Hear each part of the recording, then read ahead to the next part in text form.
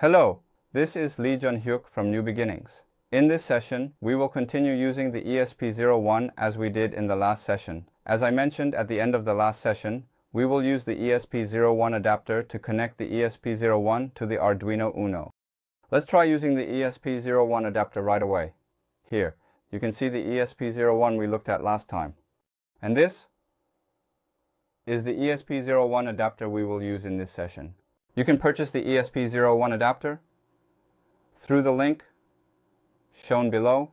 As I explained last time, the Arduino Uno operates at 5V and the ESP01 operates at 3.3V, so they cannot communicate via UART directly. Therefore, components like a level converter are needed in between. However, with the ESP01 adapter, you can simply plug it in and connect it directly to the Arduino Uno because it has a built-in level converter.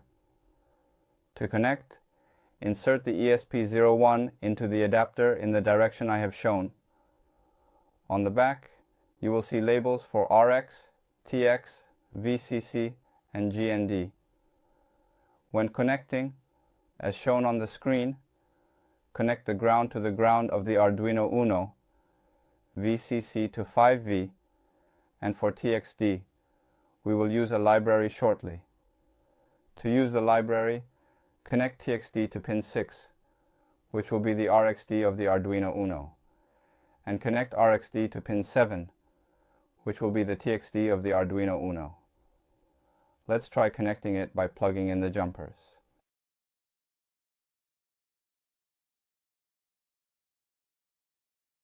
First, connect the GND to GND, which stands for ground, ensuring a common reference point for all components. Then, connect the VCC to 5V, providing the necessary power supply. Next, connect TXD to pin 6 and RXD to pin 7, which are the transmit and receive pins, respectively, used for serial communication. If you have connected the Arduino using the ESP01 adapter, which simplifies the connection process, connect the Arduino to the PC using a USB cable and then run the Arduino IDE, the integrated development environment for Arduino programming. Once the Arduino IDE is running, go to the menu, click on Tools, and then click on Manage Libraries to open the Library Manager. When the Library Manager opens, search for Wi-Fi and ESP, a library that facilitates Wi-Fi communication with the ESP8266 module.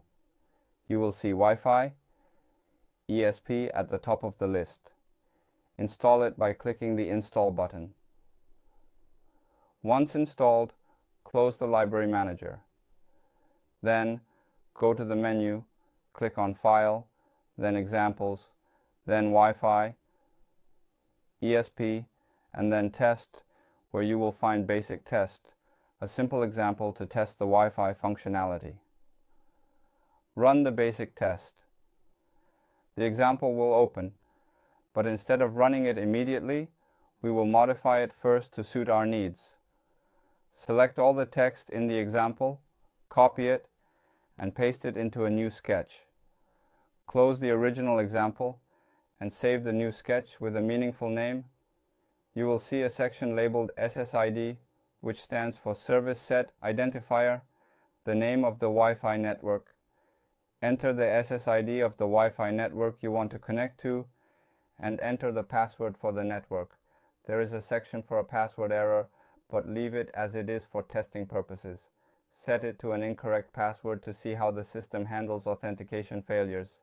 Then go to Tools, select Board, choose Arduino Uno, and make sure the port is set correctly to ensure proper communication. Click Upload to transfer the sketch to the Arduino. Once the upload is complete, open the serial monitor, a tool for viewing serial output. In the serial monitor, First check that the baud rate is set to 11.15.200, which is the communication speed. When you run it, you will see the firmware version displayed initially. The example assumes the firmware version of the ESP8266 is 1.5.2, but the actual firmware version we are using is 2.0.0, so close the serial monitor and change this part to 2.0.0 to reflect the correct version. Alternatively, if the version of the ESP8266 you are using was displayed earlier, you can enter it here, enter it again, and I will try uploading it again. Then, please run the serial monitor again. When you run it this time, the firmware version should not show an error, and the current Wi-Fi connection status should show as disconnected.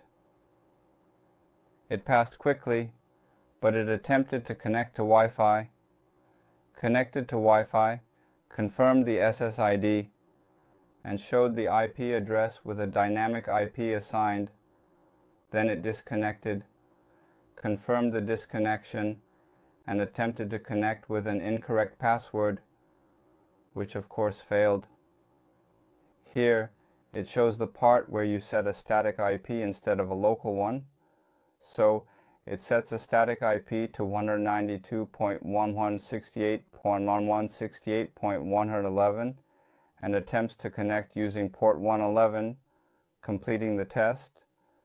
If it shows this, the ESP01 is working correctly. Additionally, if you look at the examples in the Wi-Fi ESP file, you will find various commands and examples for using the ESP8266 to connect to the internet. You can refer to those and use them as they are. In this session, we use the ESP01 adapter and the ESP8266 library. Next time, we will look at connecting the IoT platform Blynk with the ESP01. See you next time.